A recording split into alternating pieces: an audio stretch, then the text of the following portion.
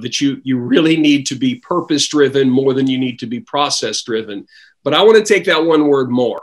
And, and I'm not sure it really needs to be defined as a more or a less. I think when you emphasize, you know, the why and the how, it goes back to the chicken and the egg. It, it's it's the cause or the effect. And, and I think I tell people that if your goals are connected to purpose, it will increase productivity. Hi, and welcome to another episode of the People Hum interview series. This is your host, Anushka at People Hum. People Hum is an end to end, one view integrated human capital management automation platform, the winner of the 2019 Global CODiE Award for HCM, that is specifically built for crafted employee experiences and the future of work. We run the People Hum blog and video channel, which receives more than 400,000 visitors a year, and we also publish several interviews with well known names globally every month. Today we have with us Steve Gilliland. Steve is a member of the Speaker Hall of Fame and is one of the most in demand and top rated speakers in the world. Recognized as a master storyteller and brilliant comedian, he can be heard on SiriusXM Radio's Laugh USA and Blue Collar Radio. With an appeal that transcends ba- barriers of age, culture, and occupation, plus an interactive and an entertaining style, Steve shows audiences how to open doors to success in their careers, their relationships, and their lives. Presenting to over 250,000 people a year, more than 2 million have now heard him speak, with audiences encompassing nearly three dozen industries. We're so happy and honored to have someone of his stature today on our interview series. Welcome, Steve. We're thrilled to be talking to you today. It's great to be here. Thanks for the opportunity. The pleasure is absolutely ours. So, diving right deep into the interview, you know, you've also been named the author of the year after perennially, you know, making the publisher's bestseller list. So, can you just briefly, in a nutshell, speak to us about HR and the leadership ideals that you've highlighted in these books? as a writer and an author, I've always focused on people. You know, you know, the greatest asset that any organization has, and of course, I'll say the right people that you know that is. Um, the writings, for example, I wrote a book called The Cherry on Top, which we released last year, and it's literally the subtitle is What Adds Value, and the book is about understanding the importance of developing and delivering value in everything you do. Um, great companies with great cultures add value to their people, their products, and their services. Um, and, and, and I talk about the many things that add value in the book. Um, another book that I wrote, which I have delivered this presentation literally thousands of times, It's called Making a Difference, a matter of purpose, passion, and pride. And I just believe that, you know, purpose is what drives us, passion fuels us, pride defines us. And as leaders, we have to understand the influence that we have on the people that we are trying to influence. And as a matter of fact, one of the things that I talk about in there is thinking about the five people that made the biggest difference in your life and thinking about you know what it is that they gave you and asking yourself as a leader are you passing that on and then the most popular thing that i've ever written and it, it's it's withstood the, the the time you know the old the sample of um, you know, will this book continue to sell? Will this book continue to impact? And it has. Um, it's called Enjoy the Ride. And I just believe that a happy work environment means fewer sick days, um, people work harder, um, there's more productivity, and, and it, you know, research shows it, you know, that if people are positive in that mindset, um, there's just more productivity. That's that's great. Uh, firstly, congratulations on the success of all your books, Steve. Um, that's absolutely great, and I completely agree with you on the fact that uh, it's um, organizational values that really need to be um, kept in mind, and accordingly, um, change needs to be fostered. That to that which is sustainable and healthy change. So, really agree with you on that one. So, going on to the next question, you know, um, Steve, you yourself have influenced so many lives through presentations, CDs, and DVDs. So, as someone who has really actively been using technology to spread the word, I feel compelled to, you know, just understand your take on how technology in an organization can lead us to a more hopeful future, especially with the pandemic and digitization um, being used now more than ever.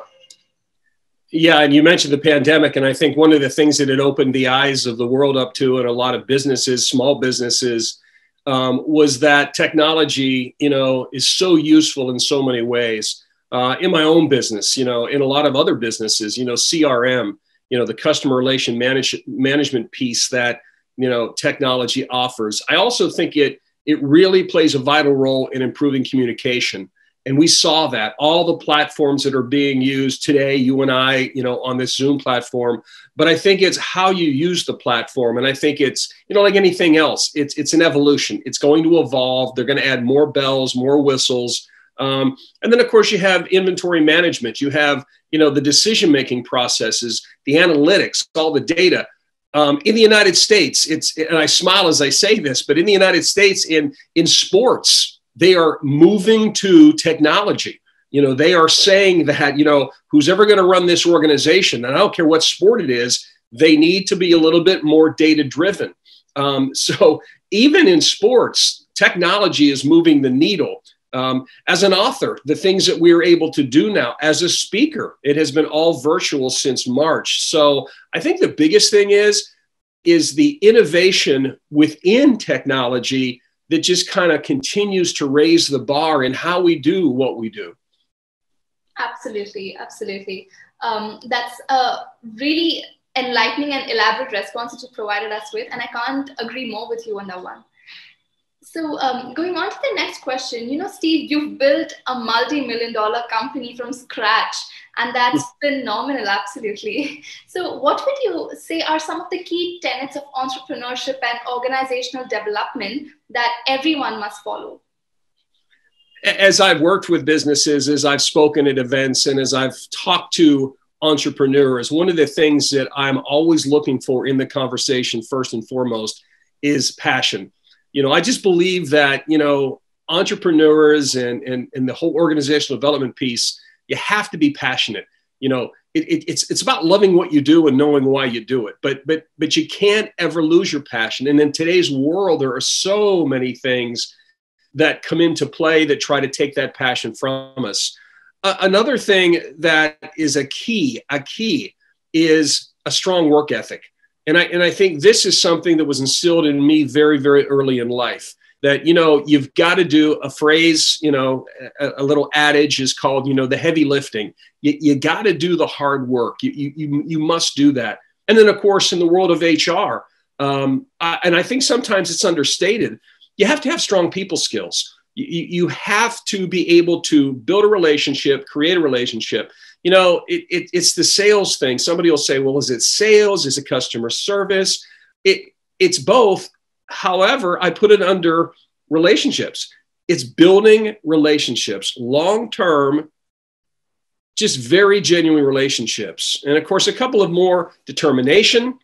Um, and then one that I think sometimes is a little bit confusing is, you know, I'll tell people, you know, you just need to be a little more creative. And when I say that, they'll say, yeah, but I'm not a creative person. Here's why some people aren't creative it's, it's about the predictability. They like things the way they are. They, you know, they're, they're not willing to make the changes and they trade opportunity for predictability.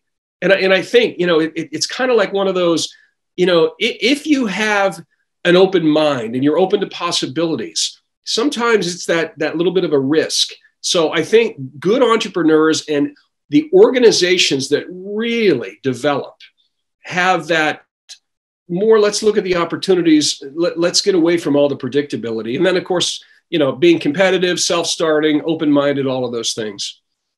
Absolutely. So it's basically keeping your values um, aligning with them and obviously having a passion and a strong work ethic.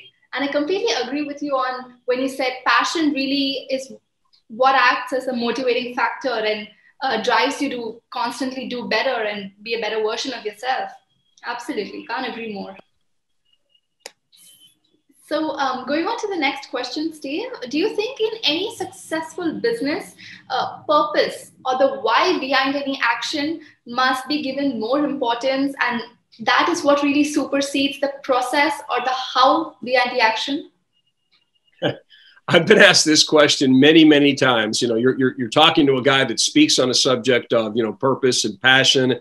Um, people have heard me say, um, you know, that you, you really need to be purpose driven more than you need to be process driven. But I want to take that one word more. And, and I'm not sure it really needs to be defined as a more or a less.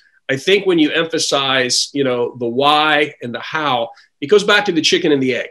It, it's it's the cause or the effect.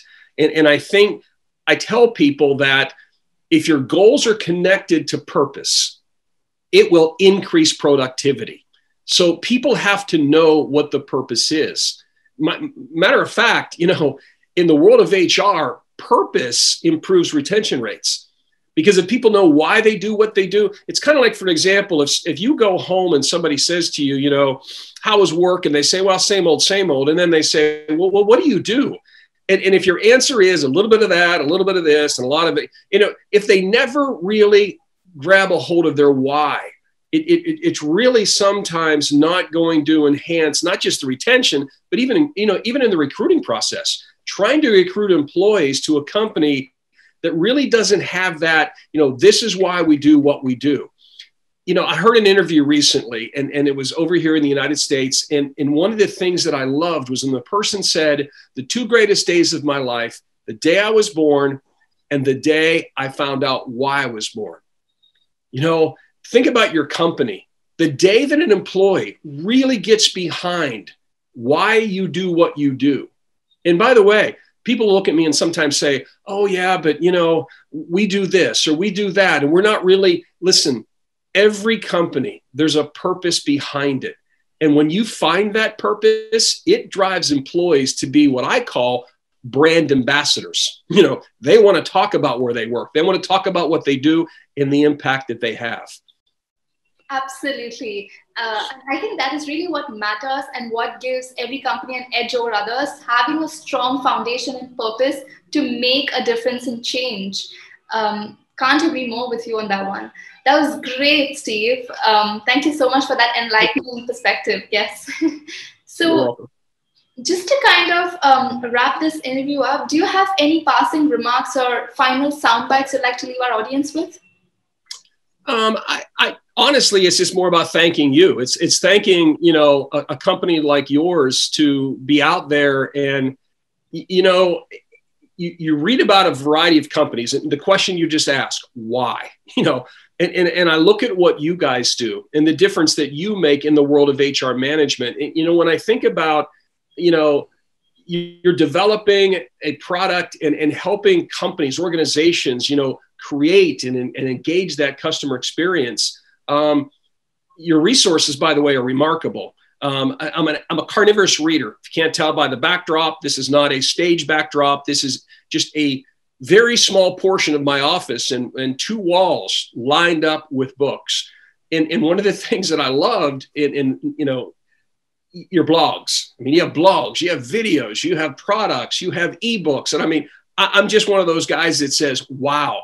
you know, when organizations understand, you know, that you got to develop people. And you heard me say at the outset, you know, one of the most important assets, no, the most important asset a company has is not just people, but the right people and, and recruiting those people. And then when you get the right people, you know, training them, mentoring them, coaching them, and just making sure. And it takes a lot of resources. It takes a determined, a very laser focused approach to saying, we're going to every day get better.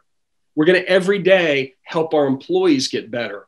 And with your organization, the company that you are a part of, you know, I think that's the end for me here is just saying thank you. Thank you for doing what you do because it supports and really aligns with what I try to do every day. And that is just help people, just make people better at what they do. Thank you so, so much, Steve. That really means a lot to us.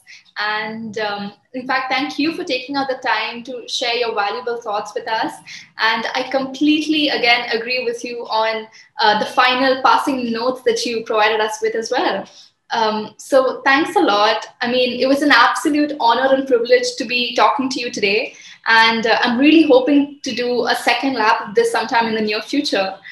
Um, so thanks a lot I had fun interviewing you, gained some really wonderful perspectives. I'm sure our audience uh, have also gained a lot of new insights from this interview. And we shall surely stay in touch. And um, yes, you do take care and have a healthy time ahead of you. Thank you so much. Thanks for having me. And I would look forward and welcome the opportunity to come back. Yes. Thank you very much. Bye bye. All right. Bye bye.